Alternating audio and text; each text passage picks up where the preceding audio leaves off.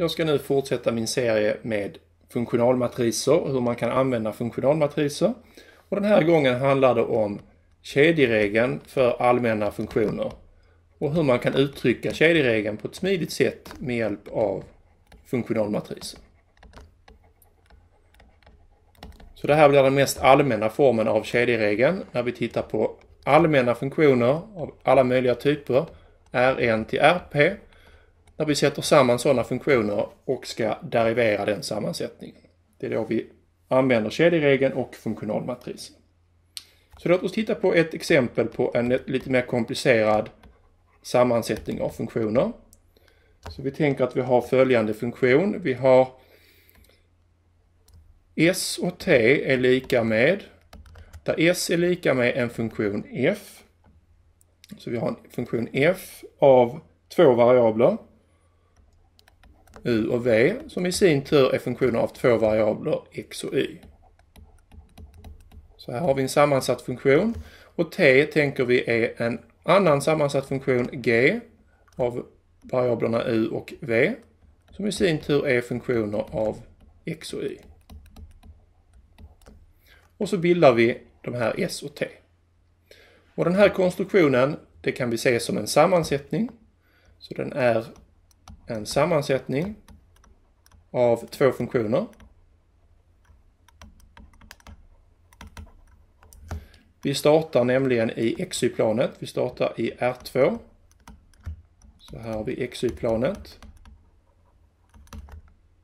Så här har vi XY. Och så avbildar vi XY på UV. Så då kommer vi till R2 igen. Jag skriver R2 där. Så det här är UV-planet. Så då får vi UV.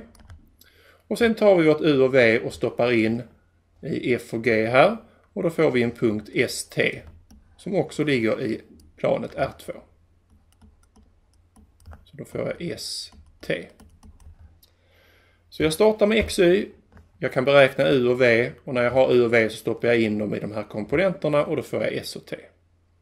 Så här har vi en sammansättning av två funktioner från R2 till R2. Och sammansättningen det betyder då att den sammansatta funktionen är att jag går direkt härifrån till hit. Så frågan är om jag nu ska derivera en sån här sammansatt funktion, då vill jag använda kedjeregeln. Men det här är en ny typ av funktion i och med att vi har R2 till R2 till R2 på det här viset. Vi har en vektorvärd funktion. Så jag kan inte använda kedjeregeln direkt här. Men däremot så kan jag använda kedjeregeln på varje komponent F och G här. Det är därför jag har skrivit upp dem på det här viset.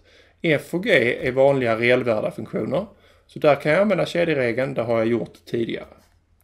Så om jag ska derivera komponenten F här med avseende på X, så F'X.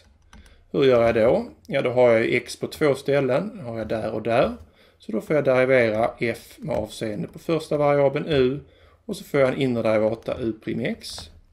Och sen får jag derivera F med avseende på V och sen har jag en inre derivata V'X. Och precis som tidigare, det F som står här är inte samma F som står där, men vi använder samma beteckning ändå. På motsvarande sätt om jag ska bestämma F' av Y. Y har jag på två ställen, det är där inne och där inne, både på U och V. Så då får jag först derivera F med avseende på U. Och så får jag en inre derivata U'Y. Och sen får jag F'V, V'Y.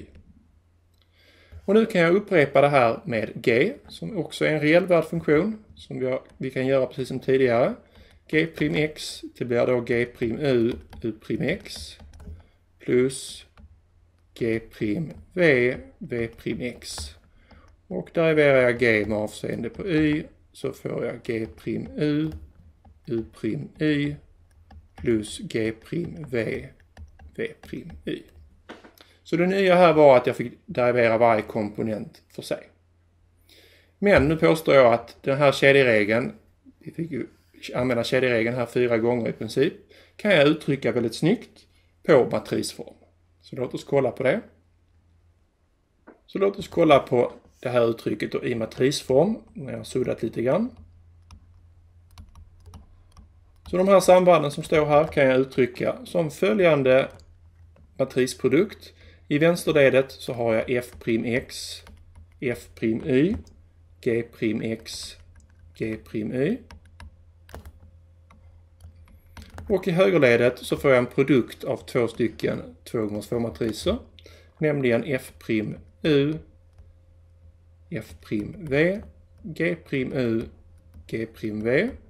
Och sen har jag u', det ska ett v där, u'x, u'y och sen har jag v'x, v'y.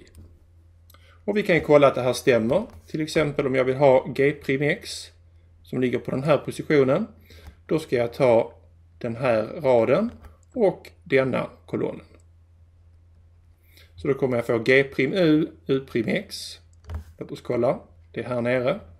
Så g'u, u'x, det är den. Plus g'v, v'x, det är den. Och resten här om du kollar kommer stämma precis. Så den här likheten motsvarar de här fyra likheterna. Så på matrisform så kan jag enkelt uttrycka kedjeregeln på det här viset. Men det fina är att alla de här tre är funktionalmatriser. Så de här är funktionalmatriser. Det här är funktionalmatrisen för den inre funktionen. Den som tar, vi gick ju från R2 till R2 och tog punkter x, y.